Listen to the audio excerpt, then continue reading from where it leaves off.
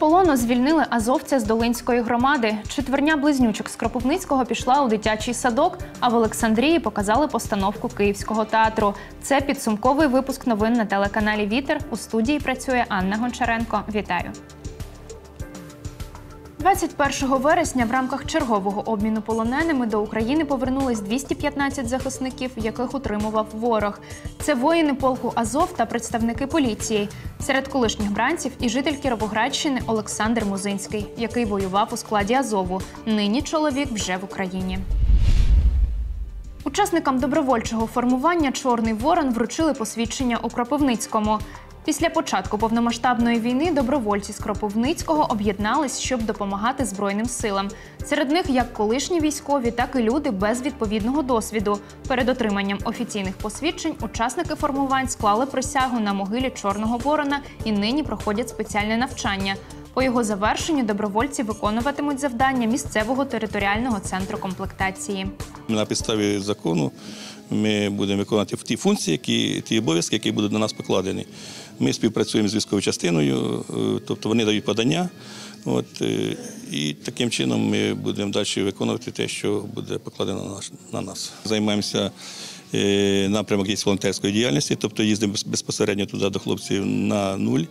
От, трошки відчуваємо, що там відбувається, знаєте, і воно так мотивує. Величезне бажання було допомагати, тобто те, чим я володію, те, що я знаю, і тому з 26 лютого я в самообороні. В принципі, я буду займатися тим, чим займалася з 26 лютого, тобто це психологічна допомога. У Приютівці перевірили роботу шкіл під час повітряної тривоги. У громаді школярі навчаються переважно за змішаною формою, адже 70% шкіл забезпечені надійними укриттями. Тож як проводять уроки в умовах війни, дивіться далі.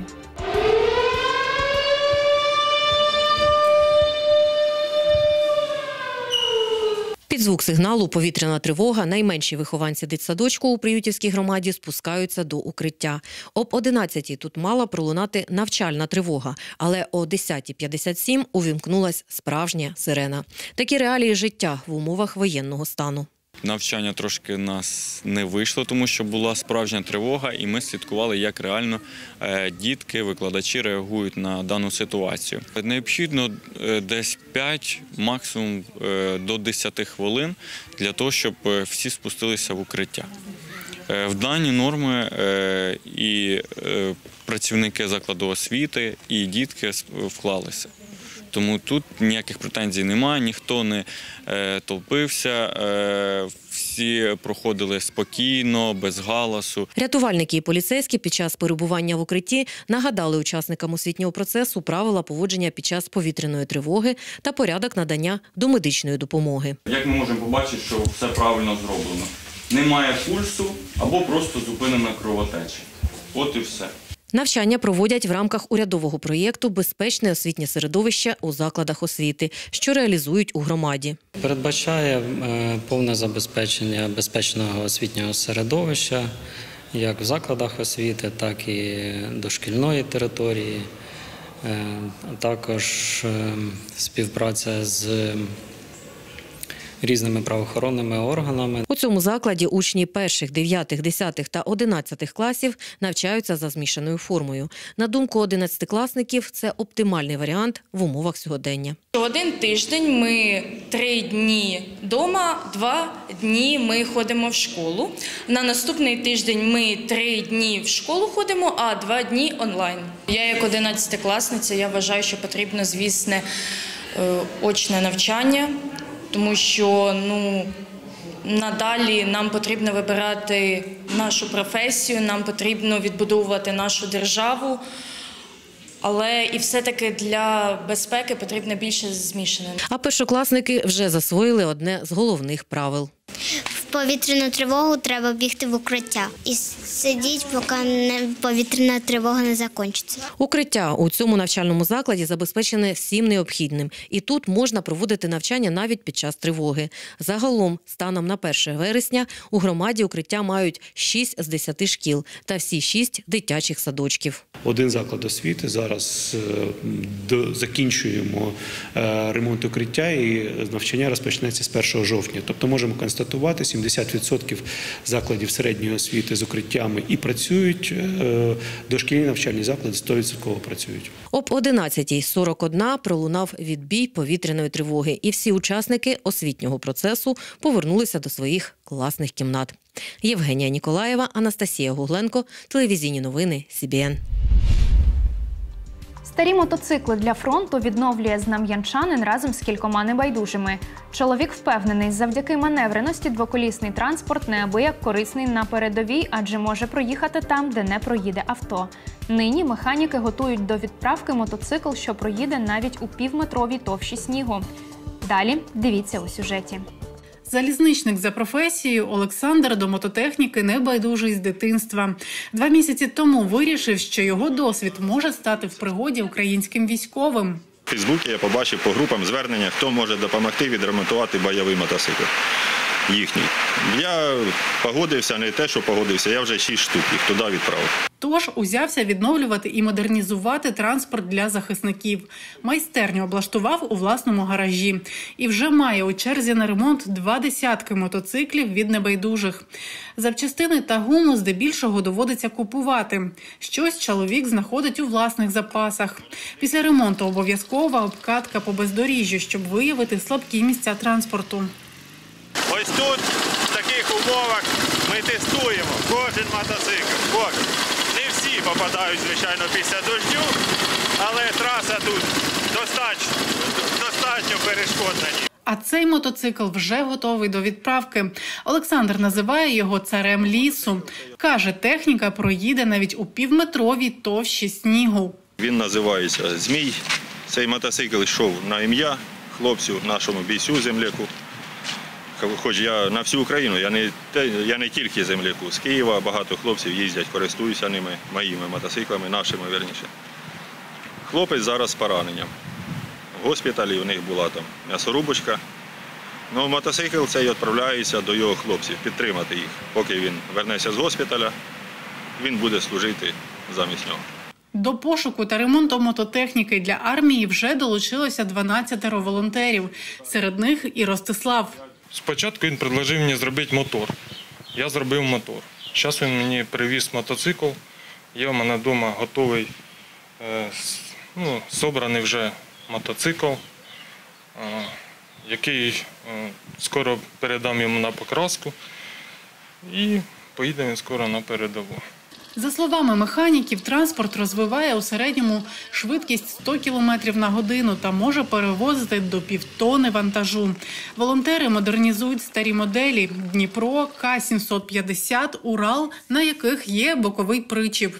У ньому можна перевозити зброю, боєкомплекти і поранених. Нині гостро стоїть проблема транспортування техніки. Аби купити бус, Олександр готовий навіть продати свій ібрід, з яким нерозлучний 17 років. Це легенда мотопрому. Це реставрація повністю кожної головки списи, кожної списи, кожного болтика. Вся вихлопна система це робилось давно в Дніпропетровську на авіаційному заводі. Це з нержавійки. Це дуже дорога річ. Це не на кожному мотоциклі такі речі стоять. Зараз взагалі це дуже дорого коштує. У гаражі Олександр проводить весь вільний час. Сміється. Вже дружина свариться, що запустив господарство. У мене картошка частина ще не викопана до сих пір. Тобто насамперед допомога нашим бійцям. Так. Так. Щоб їм було легше там. Механіки переконані, модернізовані мотоцикли незамінні на фронті восени і взимку. Тож продовжують роботу та збирають кошти на запчастини, гуму та паливо для двоколісних. Підтримати волонтерів можна, переказавши кошти на картку Олександра Міхріна. Яна Семенюк, телевізійні новини, СІБІН. Найбільше охочих знайти роботу на Кіровоградщині серед переселенців з Донецької області. За даними обласного центру зайнятості, загалом за допомогою в працевлаштуванні звернулося 3300 вимушених переселенців. Майже 600 з них вже знайшли роботу. При цьому половина працевлаштувалася у Кропивницькому. Найчастіше внутрішньо переміщені особи працюють на сільськогосподарських підприємствах у сфері переробної галузі, торгівлі та закладах охорони здоров'я. 100 тисяч привіз до Олександрії Київський театр на Подолі у рамках свого гастрольного турне. Головні ролі у виставі зіграли народний артист України Богдан Бенюк та уродженець Олександрії Сергій Сипливий. Як зустріло місто відомих акторів, знає Євгенія Ніколаєва. Та ви що?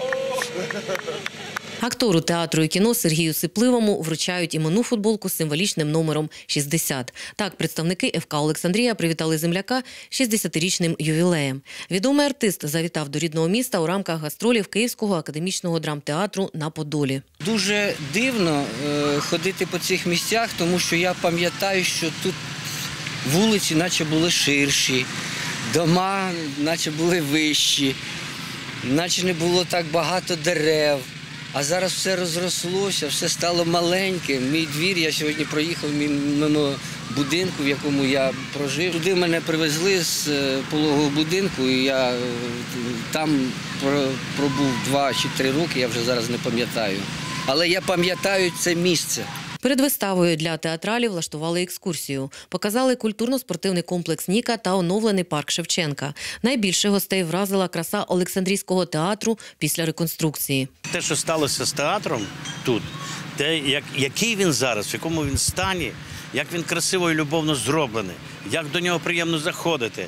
І те, що ми сьогодні з Сергієм зробили велику акцію театральну, яку всі е, театральні команди роблять. традиція. На- традиція є. І ми на, на сцені, на авансцені забили е, монету.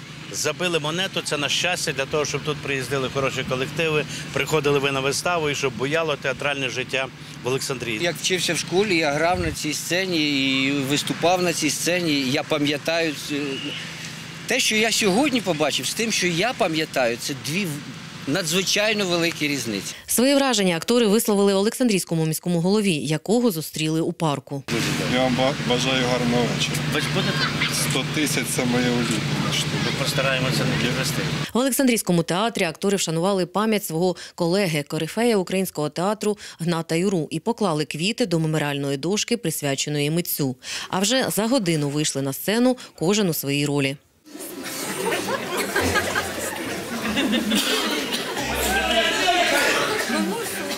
До Олександрії театр на Подолі привіз виставу «100 тисяч Івана Карпенка Карого. Місто зустріло акторів переповненою залою та вдячними оплесками.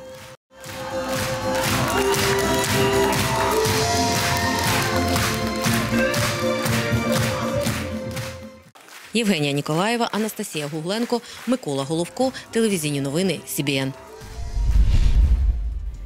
На початку повномасштабної війни Анастасія та Владислав Валіхновський разом з чотирма доньками-близнючками евакуювалися за кордон. Втім, у серпні прийняли рішення повернутися до Кропивницького. Тепер Діана, Вікторія, Єлизавета та Мілослава ходять до місцевого садочка. Як змінилося життя родини, дивіться у сюжеті.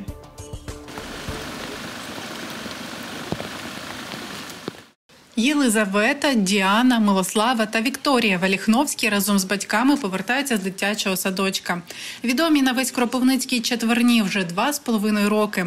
На початку війни батьки близнючок Анастасія і Владислав вирішили виїхати разом з доньками за кордон. Кілька місяців прожили у Польщі. Майже дві неділі приймали це рішення, тому що воно дійсно дуже важке з чотирма дітьми виїхати в, е, невідомість. Е, В іншу країну е, незрозуміло куди і до кого. Виставила фото наше дітей. І той чоловік, якого ми мешкали, ну дуже сподобались діти по фото, і він забрав нас до себе. За цей час сестри подорослішали. Зокрема, почали говорити двома мовами. Дівчатка підтримують одна одну і розуміють, але характери близнючок відрізняються, каже їх батько. Якщо Ліза, то вона така трошки хитренька, але ніжна, ніжна, притулиться. Віка така мамина, вся також ніжна, але категорична. Міла грубіша така, ну за справедливість постоїть там за себе і плюс за других заступиться. Ну а Діана така бешкетниця, вона і там, там, але також добре. Дівчатка сумують один за одною. То- Тобто, якщо там в лікарні лежали в Польщі, то Мілослава лежала, я з дітьми був вдома, а жінка з дитиною в больниці. То приїхали, то вони обнімали, цілували, Міла, привіт, скучили. Ну вони вже розуміють все дуже добре. У Польщі дівчатка часто хворіли, тож родина нерідко задумувалася про повернення в Україну.